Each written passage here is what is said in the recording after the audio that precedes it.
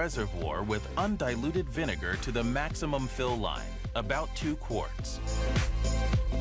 Run the cleaning cycle with vinegar three times. This will take about 20 minutes to complete. Soak a sponge or cloth with vinegar and place it inside the ice chute.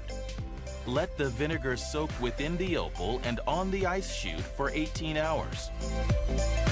Allowing the vinegar to soak for an extended period of time will help dissolve any hard water deposits. This may need to be repeated several times to remove any buildup. After using the vinegar cloth or sponge, wipe the chute with clean water.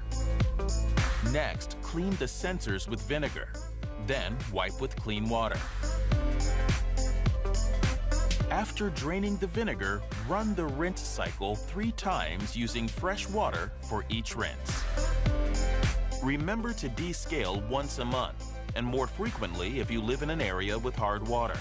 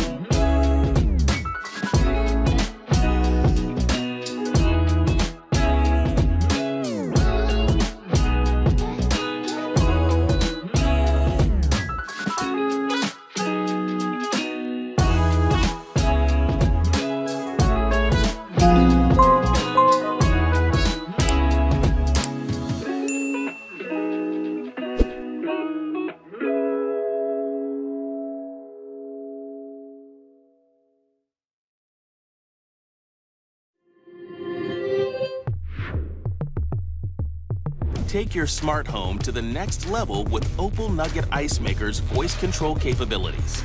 Easily pair with an Alexa or Google device. OK Google, turn on Opal. OK Google, turn on Opal Light. OK Google, turn off Opal.